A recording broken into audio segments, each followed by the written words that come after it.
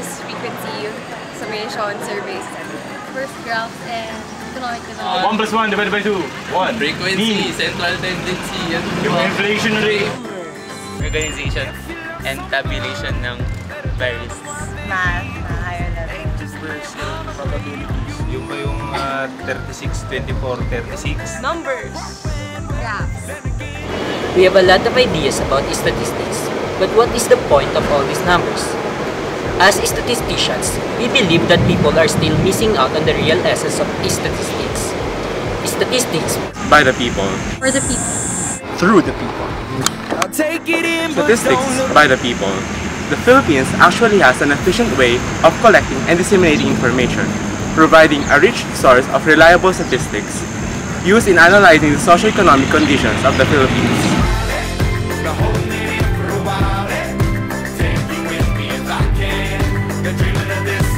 The National Statistical Coordination Board serves as the coordinating agency of the Philippines and releases policies that ensures effective collection of data. Some agencies under the National Statistical Coordination Board are the National Statistics Office, which conducts census of population and housing, the Bureau of Agricultural Statistics, and the Bureau of Labor and Employment Statistics. All of these agencies collaborate in order to provide a more efficient and a more reliable statistics for the people. Statistics is for the people. Statistics plays an important role in people's daily lives. No matter who you are, no matter what field you're interested in, you always resort to decision making to come up with results.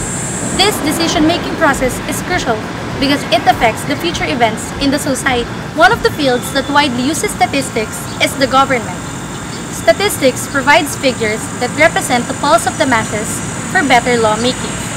Proper use of these statistics will result to a better society, a better security system, a more comprehensive education system, more effective medical assistance, and so on.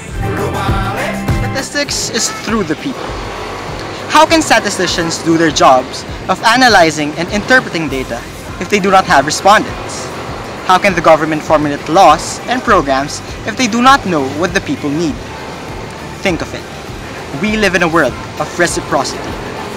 We need you, and you need us. Imagine a government system that fully understands and knows the needs of its people. Wouldn't that be nice? Isn't that what every one of us wants and expects from the government?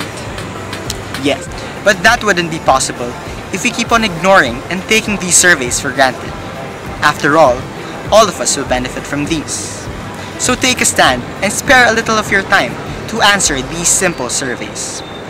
Give suggestions, voice out your opinions, and be heard. So statistics is not merely numbers and graphs.